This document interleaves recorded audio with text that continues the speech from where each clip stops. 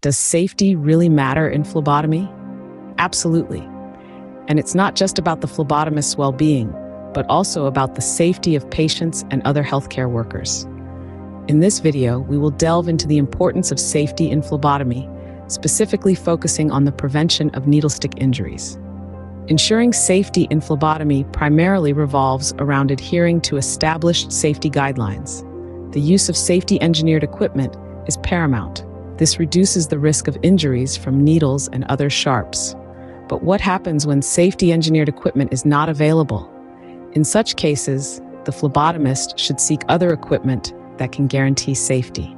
The selection and evaluation of devices with safety features is another crucial step. Safety devices offer an additional layer of protection, and using them correctly can significantly reduce the risk of needle stick injuries.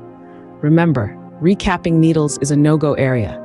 It may seem like a convenient way to handle used needles, but it poses a significant risk of injury. Instead, safely handle and dispose of needles in a puncture-resistant sharps container immediately after use. The role of the phlebotomist in maintaining safety goes beyond their own actions. Reporting all needle stick and sharps related injuries is crucial to ensuring appropriate follow up care. Equally important is notifying the employer of needle stick hazards and reporting needle sticks and near misses. Infection prevention training can equip phlebotomists with the necessary knowledge and skills to prevent needle stick injuries. Also, phlebotomists should receive the hepatitis B vaccination as a preventive measure against potential exposure to the virus. What happens when a phlebotomist experiences exposure to blood or a needle stick injury? The first step is to wash the area with soap and water. If there are splashes to the nose, mouth, or skin, flush these areas with water. Eyes should be rinsed with clean water, saline, or sterile irrigants.